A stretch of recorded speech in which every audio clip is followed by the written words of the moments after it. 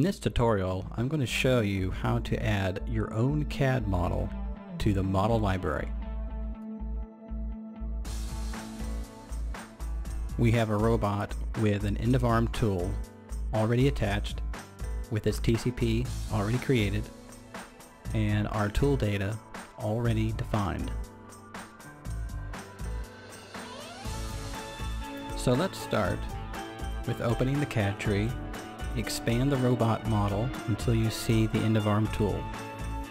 Or right click on the end of arm tool and select add model library. In this window many options can be configured. So let's set this up as a tool and not a workpiece.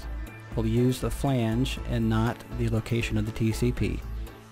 Select Get Tool Data if you need to change the active tool data from another set in the controller.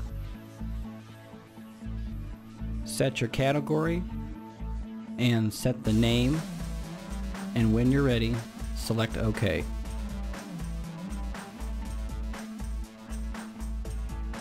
Now select model library and as you can see your tool has been added but there's no preview picture. To add an image simply go into the CAD tree, hide the robot model and floor and zoom in on the end of arm tool.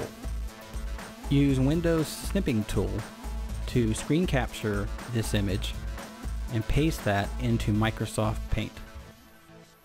Now simply save this image as a bitmap in the location of your new model folder. Call it item.bitmap. Hit save and now you should be able to see this in the model library. To test the model, just drag it over any section of the robot. It should attach the flange, adjust the TCP, and add the tool data automatically. And you're done.